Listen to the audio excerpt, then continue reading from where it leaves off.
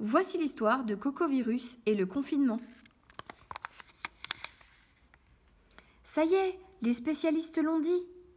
Confinement général des Français et Françaises. Le confinement, c'est un mot bizarre réservé aux adultes. Les enfants ont un mot bien plus joli qui veut dire la même chose, le co-confinement.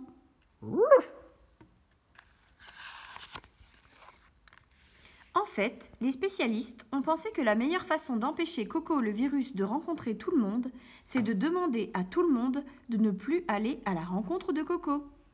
Tu sais que pour devenir un beau papillon, la chenille a besoin de se construire un cocon douillet. Isolée du reste du monde, dans son cocon, elle est protégée et a tout son temps pour s'occuper d'elle et se transformer en beau papillon. Ah là là, ma petite tasse de thé, oh, je suis trop bien posée là. Alors, comme la chenille, chacun peut se faire un cocon pour laisser Coco s'ennuyer dehors. Ton cocon à toi, c'est ta maison ou ton appartement. Et c'est mieux que la chenille, parce que tu n'y es pas tout seul. Tu peux faire plein de choses et profiter de ta famille. Mais arrête de tricher. Toutes les personnes, toutes les familles se fabriquent leur cocon anti-coco. C'est ça le co-confinement.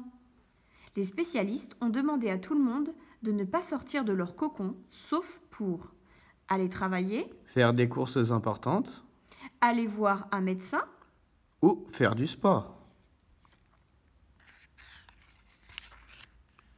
Avec ça, Coco va rapidement se retrouver bien seul.